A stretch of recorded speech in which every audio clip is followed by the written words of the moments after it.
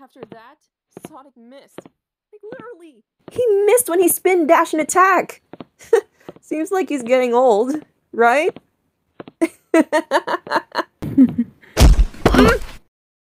huh. Wonder what that was. Tangle, why are you heading towards the loud banging noise? I don't know. Might be something interesting. This is why I keep saying you die first in a horror movie. Shush. What? What is it? It's a kid! What?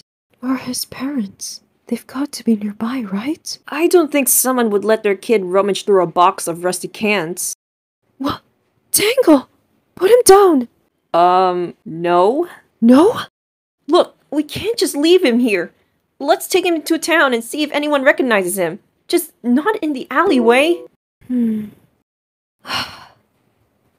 Alright. Relax. It's just a small detour. We'll still have plenty of time. Right. What? No, of course not. We're not exactly cut out for it. We're not keeping him. hey, weren't his eyes orange?